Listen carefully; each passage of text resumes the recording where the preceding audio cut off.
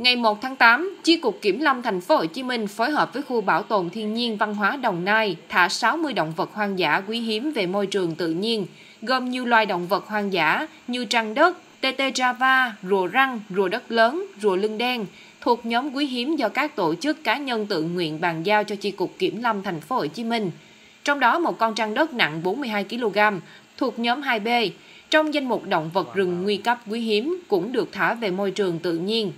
Trước đó, Chi cục Kiểm lâm thành phố Hồ Chí Minh phối hợp ban quản lý vườn quốc gia Phước Bình, tỉnh Ninh Thuận và khu bảo tồn đất ngập nước Láng Sen, huyện Tân Hưng, tỉnh Long An thả 63 cá thể động vật hoang dã thuộc 7 loài: tê tê Java, rùa núi vàng, rùa hợp lưng đen, khỉ đuôi vàng, khỉ vàng, khỉ đuôi lợn, khỉ mặt đỏ về với môi trường tự nhiên.